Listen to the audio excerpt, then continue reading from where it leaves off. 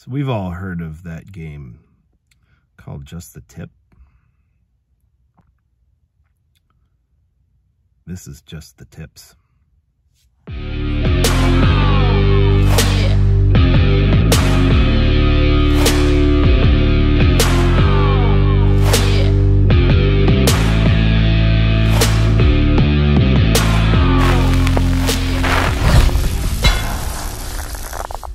Good morning. Happy Monday.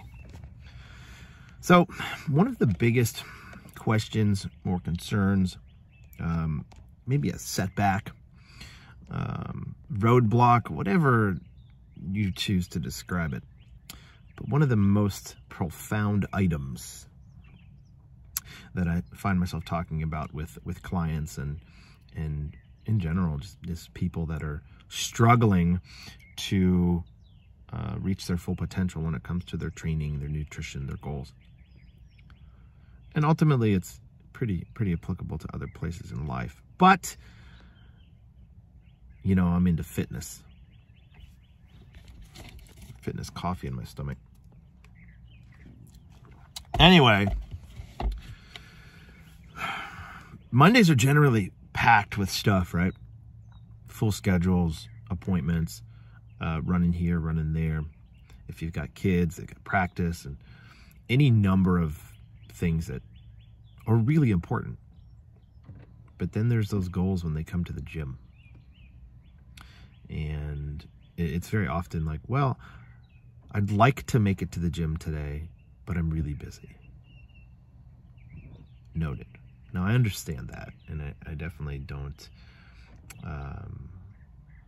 I don't disagree that it's difficult, but I also don't disagree that there are certain items in your schedule in your life that are way more important um, than your fitness goals. I get it. There's certain things that are always going to take precedent.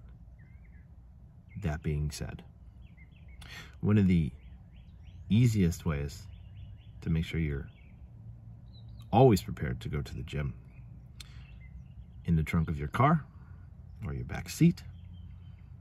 Have a set of gym clothes in a bag with some shoes. Ready to go. And uh, for shits and giggles, why not stick some uh, shower stuff in there just in case, right? So maybe you've got somewhere to go um, in the evening and you don't want to get sweaty and gross and, and then go. So you take your shower stuff with you.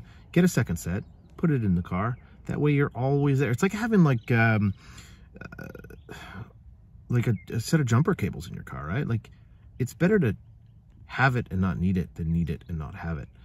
Um, so when it comes to your gym stuff, keep it in the car all the time. That way it's always there. And if you use it, well, clean your clothes, put it back in the car. Put that on your list of things to do. Now, second thing you can do is a bonus.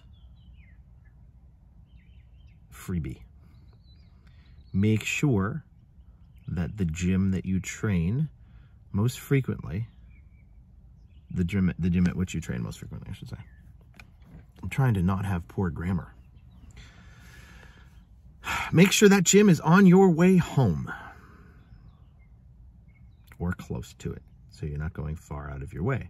It's going to take an excuse out of your book of like, oh, it's so far to the gym. Traffic's bad, blah, blah, blah. Well, if you got to drive by it anyway, you might as well stop um, you definitely, you know, try to not have it be the opposite direction of where you live. Sometimes that's unavoidable. I get that.